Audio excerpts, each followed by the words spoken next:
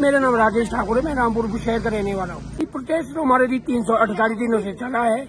हमारी मुख्य मांग जो सरकार के जितने भी विभाग हमारे बैकलॉग का कोटा है, हम चाहते हैं वो एक जगह इकट्ठे होकर भर्ती मेरे के थ्रू बढ़ जाए, यही हमारी पहली मांग है। दिन रात यहीं डटे रहेंगे जी, जब तक हमारे लिए कोई सात तक फैसला नहीं आ जाता, तब तक हम यहीं डटे रहेंगे। हमारे जितने भी हमारे बैकलॉग का कोटा सरकार के पास बसता है हम चाहते हैं सरकार वो एक लाख भरे भर्ती के थ्रू भरे हम जी सात से आठ सौ पोस्टें हमारी क्लास फोर की बसती है। सरकार के बाद हर विभागों में सात सौ आठ सौ पोस्टें क्लास फोर की होंगी।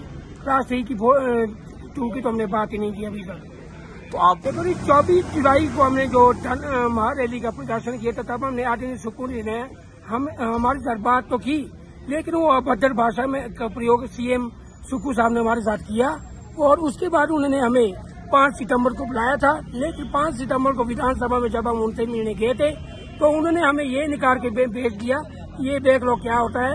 उन्होंने हमारा तमाम चार्टर तक नहीं पकड़ा वहाँ पे और उसी कारण हमें फिर से सड़कों पे उतरना पड़ा। रात यहीं बैठे रहेंगे जब तक कोई जवाब नहीं मिल जाता हमें साथ तक जवाब लिखित में नहीं मिल जाता।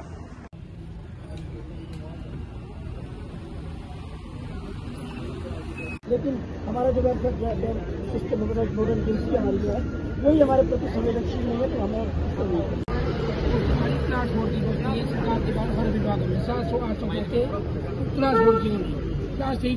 दिव्यांग एकता जोश में आओ